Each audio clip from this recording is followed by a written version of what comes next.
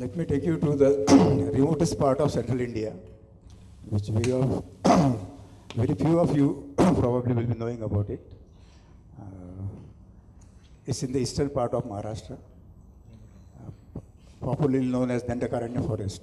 It's a very thick forest with beautiful rivers, clean water. Uh, it's literally cut off from the world.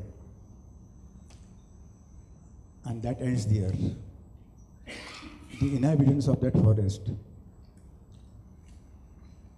is one of the most backward tribe, is known as Madia. They live on the hills, they are hunter and gatherers. They used to practice jhum agriculture. And there was no record on paper, neither birth record nor death record.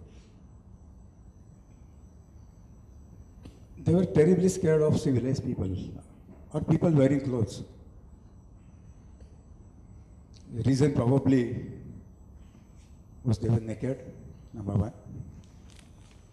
And second thing is probably they were exploited by so-called civilized people. That's why they wanted to keep away from this, these, these people, civilized, so-called civilized people. Tremendous malnutrition. You won't find many old people in the villages. Life expectancy was low. Children had pot bellies. And my father, Baba Amte, who was uh, very well known for his leprosy work, wanted to do something for this tribe. And myself was educated in Nagpur Medical College. After my graduation, my wife Mandakini was from Nagpur. She is an anesthetist. Joined the project in 2000, 1974. What was there? It was a thick forest which used to remain cut off for six months because of there were rivers in between the civilized world and that forest.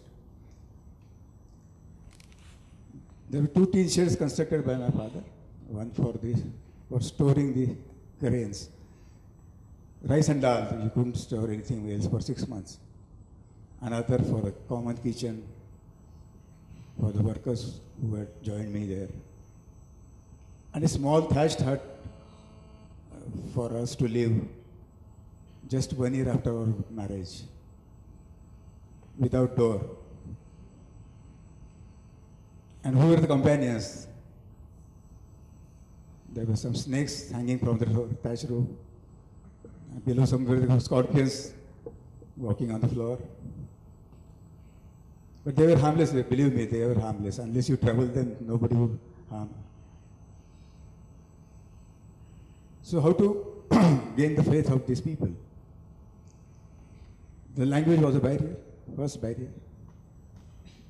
It was a spoken language dialect, totally different from our Marathi or Hindi. They had their own beliefs. So we roamed in the forest and the villages, tried to study their culture, their practices. And then we came to know that every village has a witchcraft, a village priest. And whosoever falls ill, we used to take him to him. He was asked for a sacrifice of a chicken or goat, or sometimes human sacrifice. So it was so difficult and frustrating how to gain their faith. So we thought over it for a while and then gave them an option. If a patient is not cured by your doctor, why don't you bring it to our clinic under the tree? And the first patient came. A small boy sleeping by the side of fire in a biting cold without clothes. He had an epilepsy, fell down in fire. 40% burn. They took him to the priest. He applied some local medicine. The wounds got infected. Later on, it was infested with maggots. It was awfully smelling. So he sent him back to the parents. Parents put him outside his hut because they couldn't bear the smell. And then we came to that such a patient was there. Uh, we requested him, and then that was the first patient was brought there. We were so happy. We removed his maggots, dressed him with sterilized dressing, gave him penicillin injection. Also pills for his epilepsy. So within a month he got cured. Some more patients started coming. The only handicap which uh, we both had that we had no investigation facilities. Second patient came, he was brought on a bamboo cot from 25 kilometers. They come in a procession because 8 to 10 people help them. So almost five villages came to know that the patient, serious patient has been taken to the, our, our project. Uh, we were really worried how to diagnose it. We referred a book, we discussed among ourselves, and thought probably it was cerebral malaria because there were a lot of mosquitoes in the area. Started with quinine and other life-saving measures underneath a tree. On the third day, he opened his eyes, and we were happy that our diagnosis was really, uh, he was responding our treatment. On the fifth day, he, along with his wife, took his cot on his shoulder, went back walking, and people came to know that he was also cured and saved in this hospital, and a lot more patients started coming. Another pro- uh, problem was that they were not educated. How to prescribe them medicine? How to ask them to take the medicine? Some of them used to take whole medicine of three days in, in one gulp. But they thought that probably if you take more tablets, you will be cured early. So we had to convince them, keep them in the hospital, admit them under the tree. And uh, the number of patients started increasing. But some failures, you know, we cannot, we could not save everybody. Somebody died from certain village, few people came from that side.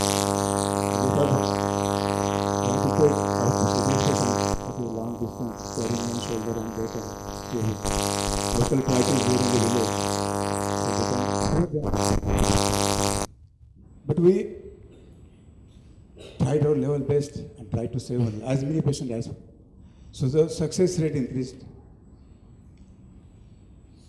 And we were happy that we could be of any help to them. There was no education, so the school was started. They were exploited. They were not knowing about their rights. So all the practical training was given. And after 42 years, more than 40,000 patients from 150 kilometers. Bastar, Gadchiroli district and Andhra Pradesh is, is, is bordering our district. Almost come walking for 150 kilometers, taking three to four days. But they have faith in, uh, in this modern medicine. Many of the students have been educated, some of them have become doctors, teachers, lawyers, and also they are aware about, about their rights. And then one good thing about Amte family is that the third generation, our two sons and their better house, they're taking care of them. And then this is how the project is running for last 42 years. Thank you.